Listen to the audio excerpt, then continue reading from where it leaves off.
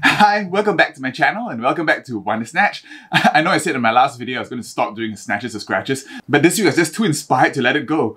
And also some people have been commenting in the comments that they wanted to see my snatches scratches, so I'm back for this week. And also because I was so inspired by this week's Drag Race 13 Beast Challenge where Utica's makeup was just really so nice, I wanted to try that.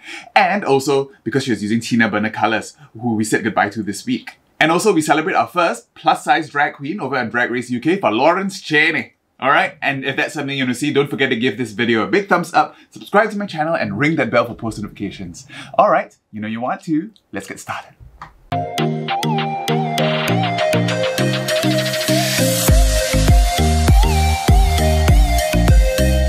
Alright, okay, so today I'm going to go for Utica's look. Okay, she's got this really, really nice oil slick tears, which I'm going to try. I think I'm going to do a bit of a Lawrence Chaney kind of style, okay? I've been watching his makeup tutorials, and basically what he does is he does his brows first and he moves downward. So that sometimes works for me. Sometimes it's too enthusiastic about getting to the rest of my face, but I think if you do this stepwise way, it does tend to give you a little bit of a better result, okay? Especially you can con concentrate on your eyes, so that's what I'm to try today. So I'm to try to go for Utica's brows. I think Utica does have a bit of a trademark look, okay? The last time I did her face, okay, I went a little bit too big, so this time I'm to try to keep things tighter, keep things smaller, okay? She has a very simple little tick up tick brow, and then she likes to do these white highlights around the mouth. Last time I think I diffused the lip out too much, so this, this time I'm to try to keep it tight. Might as well go the wig cap. So wig cap on. Alright, so let's start with Drag Race UK this time. Um, Drag Race UK, the finale, it wasn't an, a, a, very exciting episode. I think everyone kind of knew it was between Lawrence Chaney and Bimini Bon Boulash. And although Ellie Diamond comes in no wins, she only lip synced once, okay, last week. And Tayce, of course, lip synced four times. so, you know, I don't think there was any chance that either of them would have won. And Bimini Bon Boulash, I guess, you know, she has a really, really meteoric rise and her story is a kind of an underdog story that RuPaul's Drag Race really likes. But, you know, I think they really wanted to give Lawrence Chaney this Wow Presents TV show because I guess he'll be the best suited for that kind of prize, I guess. But, you know, Bimini Bon is a winner in my eyes. Okay, so I'm just going to do the forehead first and then move down to the rest of the face. Warm up that forehead with my V21. And when they come in the last week's challenge, Ellie Diamond and Lauren Chaney make up for the fight they've been having the last two episodes. I think I don't think either of them wanted to, you know, leave the competition with that hanging in the air. Forehead tiny. And for the brows, okay, to get the angle right, I need to put on my face tapes. I'll be right back. Okay, so I got my face tapes on to map out the brows. Okay, so I'm going to try to go for that look there.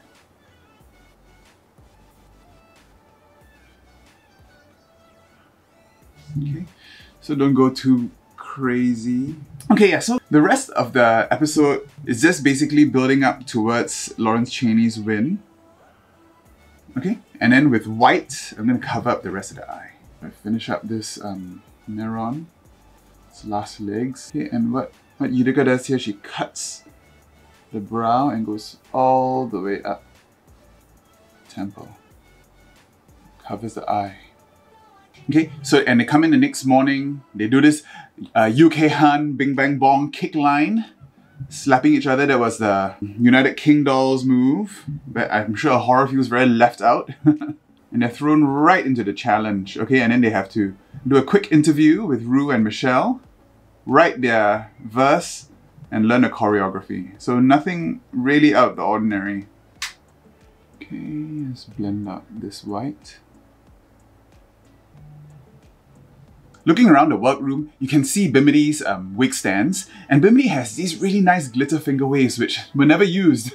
I was really looking forward to, to a look those beautiful wigs, but you know, unfortunately we didn't get them. I'm to go in the rest of, of the lid with my Roman Zero P. Louise, okay, to give me a nice white base. So they go for a Ru's interview, and here you actually realize how young Ellie Diamond is, right? Ellie Diamond actually, if you if you if you notice, all her references are all stuff that she learned off the TV. Okay, and her makeup is very standard, inspired by Raven, obviously. That was brought up before. Um, and all her dance moves are all very mechanical and very rote. Okay, she does this what they call the Ellie Diamond 8 step, which is basically the windmill thing, okay, which has been done by probably every drag queen, except me because I can't do it. but you know, it's all very standard. She even does these voguing moves and it all looks very a little bit off, okay, because she doesn't have the history and the knowledge to actually present these dance moves, okay? So she has a lot of growing to do. She's only 21, so you know, in like five years' time, she, I'm sure she's gonna be amazing. Right now, all her silhouettes are all pretty, pretty standard also, so you know, I think she knows she's not gonna win, okay, but I think she has a bright future ahead of her. She also has a great story, okay? She came up from the chip shop and everything. So I want this angle of this liner to basically bring this back all the way.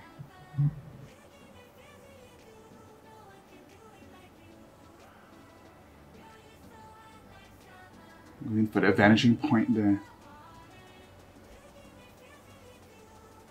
Let's even those out a little bit. This is a little bit too much. Let's try to erase that. they start getting ready, okay? They all have pretty much standard faces and they, you know, talk about, about their first impressions of each other. Yeah, nothing really too out of the box here. Makeup wise, Lawrence Chaney does this really nice purple and grey brows. Otherwise, pretty standard. Ellie Diamond, very standard face, okay? Practicing her standard dance moves. All, as I say, very standard. Bimini looks great, okay? She I think she I think she really really thinks she could win. Even like you know in the reveal when they were like uh, watching the winner, you could see her sitting in front, looking like she was very very poised to win. I'm gonna go into the yellow to blend this out. Set this white here with yellow. And Tayce, of course, looks stunning every single time. I still can't get over Tayce's admission from one of the last episodes where she was saying that she never felt attractive, okay, and she always tried to retreat into drag and not address her personal life, okay, all from a very traumatic um, experience that she had when she was young. Okay, that was quite sad to hear. I mean, it's something I, I think a lot of us can relate to, okay, that we might have been taken advantage of when we were young and never been able to reconcile or ever have a normal sex life. I think that's a story that's more common than actually a lot of people care to admit. And try to blend that into the black. Oh no. Okay, I think we can go into the rest of the face. I'm just going to highlight down the nose. Go into the rest of my... And this way you can clean up the black here as well.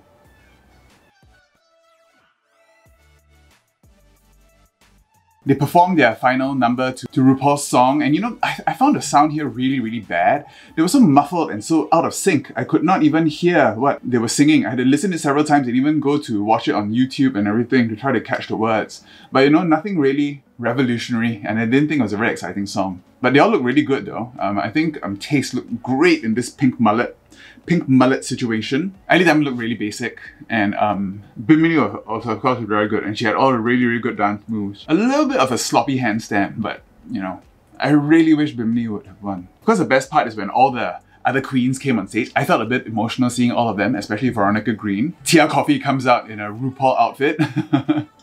because she says, you know, remember she asked RuPaul whether she could borrow her team. Blend this out very, very carefully.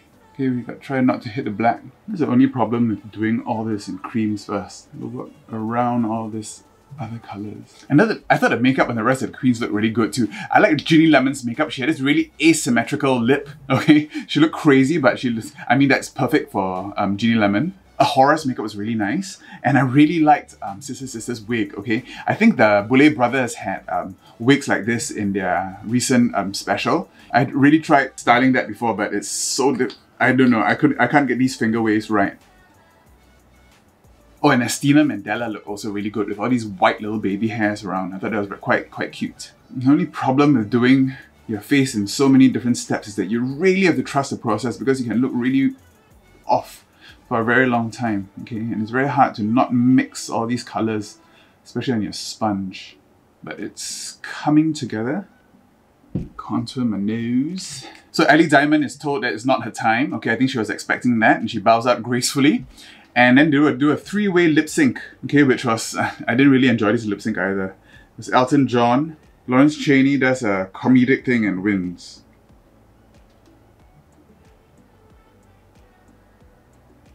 I'm just gonna powder and clean up a little bit and I'll be right back to talk about Drag Race Season 13. So I've powdered and I went and intensified the colors a little bit more.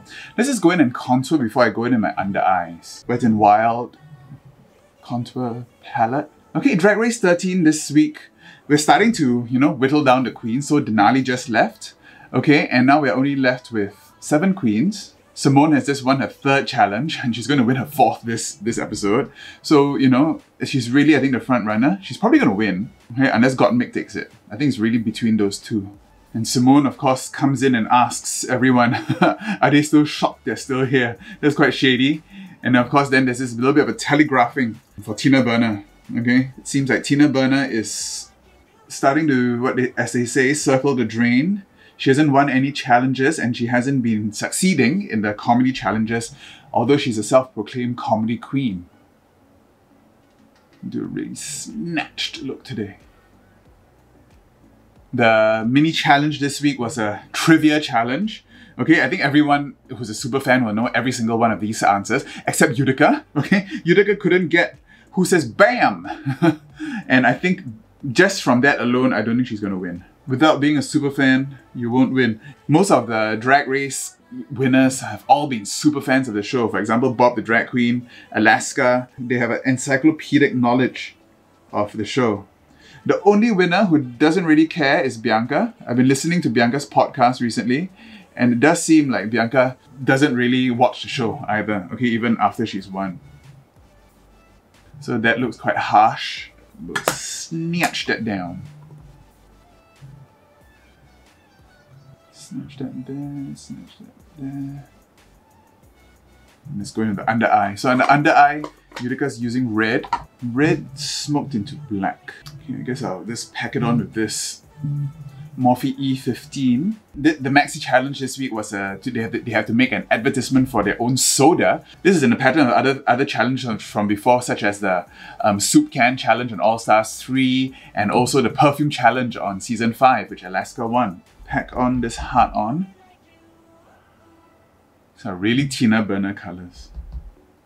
Surprised they didn't mention it on the show. Okay, using a little bit of crazy deepen up. I thought the Maxi challenge, a lot of them are quite predictable about what they were going to do. Like Tina Burner, the housewife thing, it was all really, really predictable. So I guess she really was dinged for that. Utica, of course, went all crazy. She did this whole thing about licking the can and even sucking it out of the udder of the cow. And that actually looked pretty dirty. It looked like a Sean Cody porn when she was suckling the, the cow while someone else was feeding the cow. Oh, and of course, um, Tina Burner said many times here, it's not Victoria who has a secret. Victoria's not the only one who has a secret. What's my secret?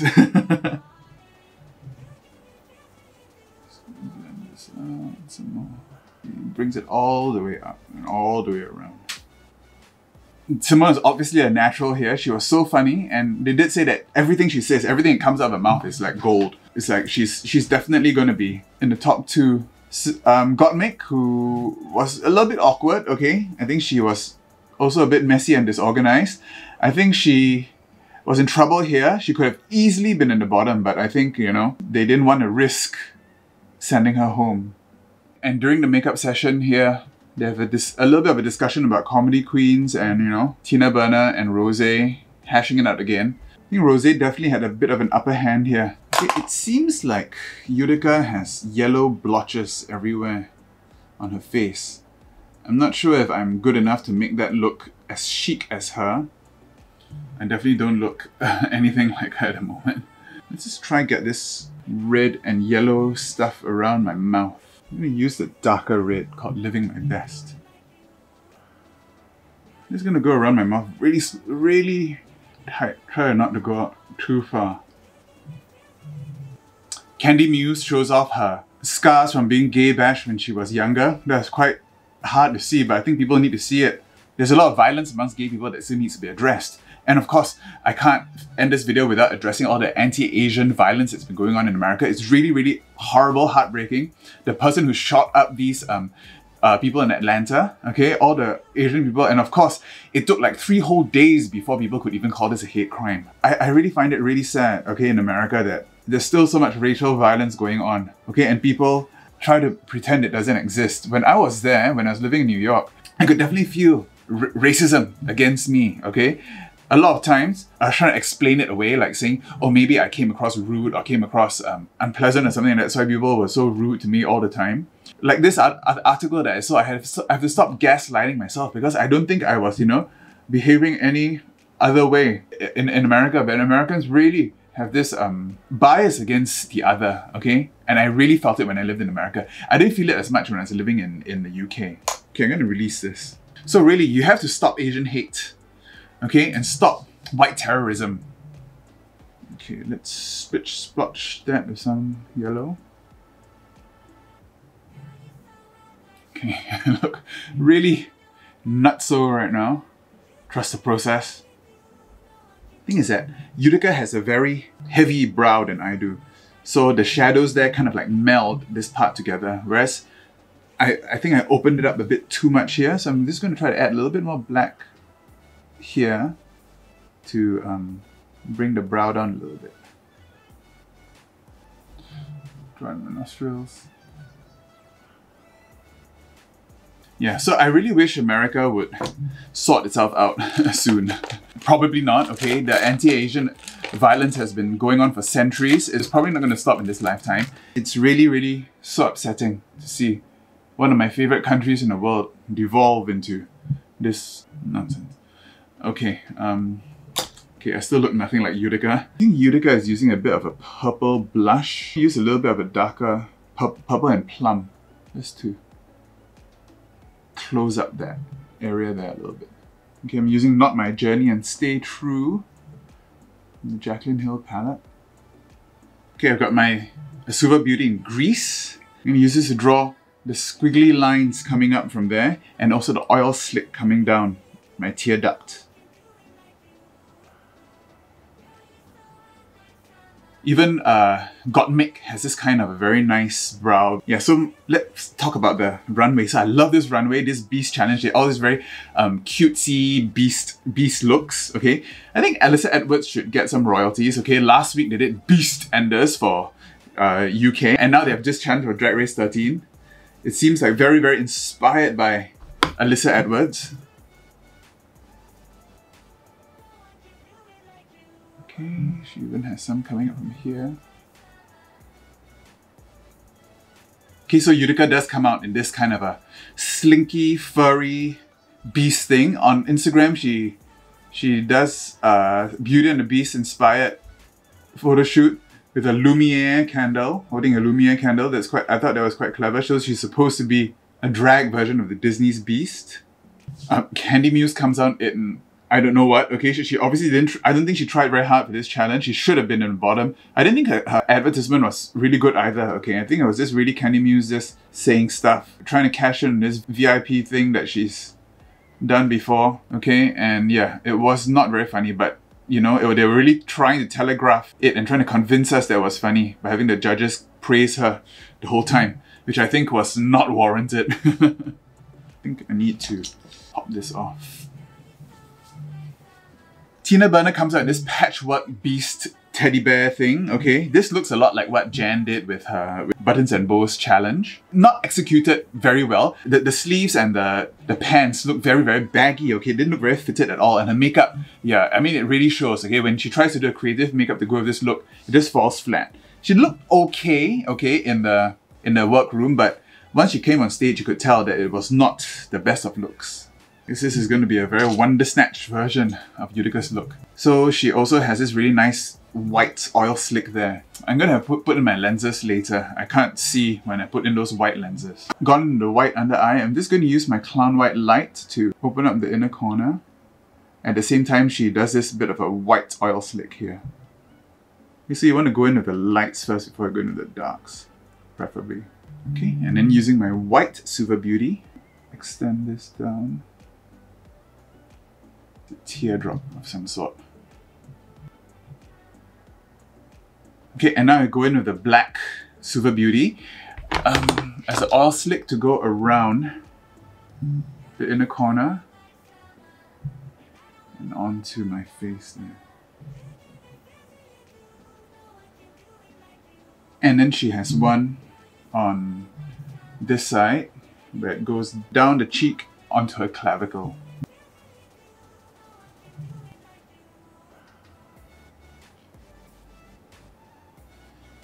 She kind of draws it such that it's a globule here. So after Tina Burner is Olivia Lux. Olivia Lux comes in this very teal color. She obviously used the teal color in the Makeup Forever Flash palette. She looked really good, okay? Really pretty her face, okay? And a very nice teal outfit as well. So um, yeah, I think she th this was a real snatch for me. Simone comes out in this fox furry kind of look. Really, really hot kind of a foxy lady. Foxy brown, as they say. She even has two big hoop earrings up there. Looks very, very cool, okay? I wonder whether she'll ever be able to use this outfit ever again. Okay, I'm gonna go into the, the details later. Let's just finish up the lips. Just gonna go in with a red lip and then some white highlights. Okay, gonna use my Gerard Cosmetics in Fire Engine Red. Haven't used this one before. Gottmik comes out in a very very nice uh, Mako uh, monster thing. I think Kahmora Hall has a has a had a similar outfit plan. So good thing there wasn't a snatchy snaps this time also. And Rosé comes out in this big red thing. I think Rosé actually looked pretty good in this. Her hair was amazing. I couldn't stop looking at the hair, the way it swirled up, okay, along the sides. That was a really, really nice wig. Yeah, and, and the Eliminated Queens, those that have posted their looks look really good. Denali has this very, very octopusy kind of a look. Didn't look very cohesive or anything. I think if, if I did this challenge, I would have done something like this. I would have done something like my Cthulhu look, right? Uh, like this, I do a very flesh-colored octopus with lots of tentacles, with a big tentacle mermaid gown going up with uh, maybe the tentacles coming up along the side. Something like a flesh-colored Ursula, maybe. That, I think that would be quite that would be quite gross and quite nice. Now I'm going to go into my white again.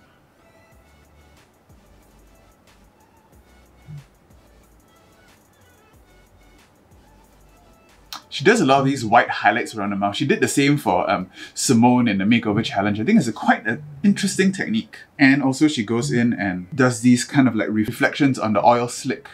After it dries, you can put the white dot there.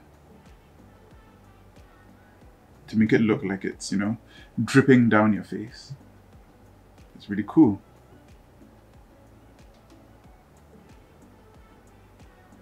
Oh, and Michelle Visage's makeup here was really good too. I like her pastel pastel makeup, okay? Usually this very pastel light makeup makes you look kind of like sunken in the face, but I thought it really worked really well for Michelle in this episode. And, and then there's a double win for both Simone and Ro Rosé. Well deserved. Okay, I think Gottmik should have been in bottom two this week. She should have lip synced. Okay, I, I think she really did not do very well. Although I don't really like her style very much, uh, because it's too similar to mine maybe. I think maybe Tina Burner should have been given another chance. Okay, maybe it should have been Utica and Gottmik in the bottom, but I think these two are destined for the top. Utica's actually a really good lip sync artist, okay? I think she um she really did a really good job with this. Okay, she really embodies the song and and I think because of her quirkiness, she's able to give these songs really different meanings. So she looked like when she was doing the My Hum song, she looked like she was a split personality, like two different people singing to each other, the male part and the female part. And I thought that really worked. While Tina Burner was just jumping all around the stage, doing all sorts of funny, weird moves. That was that thing with the leg. Made no sense. Utica won again, and of course, she always looks so happy whenever she wins a lip sync. Doesn't I think she lip syncs again, she'll be going home. Okay, I think I'm done. I'm just going to throw on some white lenses, some lashes, I'm going to be back with the finished look. And this is the finished look, Utica Beast Challenge. this is my um, Utica Beast Challenge. I made a headpiece, furry nails, and I found this black fur which I just had to use. Alright, so that's my snatch or scratch. I'm not going to do too many snatches or scratches in the near future, just whenever I feel very inspired. Alright, so don't forget if you like this video, give this video a big thumbs up, subscribe to my channel, and ring that bell for post notifications. Alright, I'll see you next time. Bye.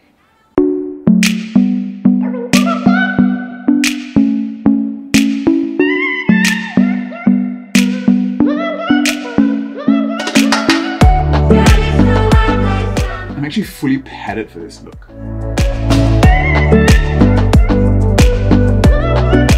Beast!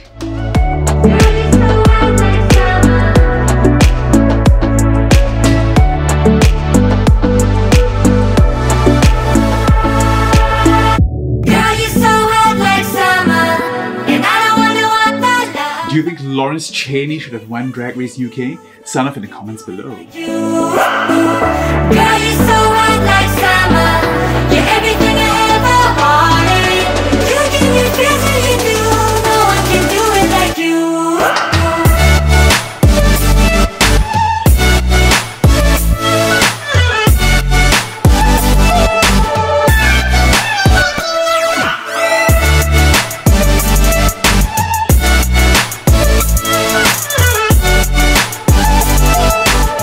Videos. I did a top 10 off-screen dramas with Drag Race over there, and I did a St. Patrick's Day look with Melvin Singh there.